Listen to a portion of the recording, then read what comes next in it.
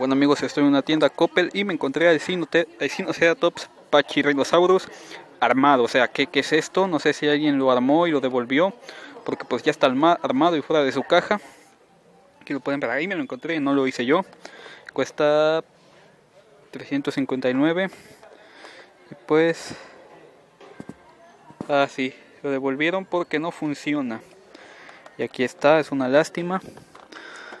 Pues aquí lo voy a dejar en su lugar estaba como escondidito. Y pues voy a ver qué hay más acá no porque pues ya van a cerrar la tienda faltan como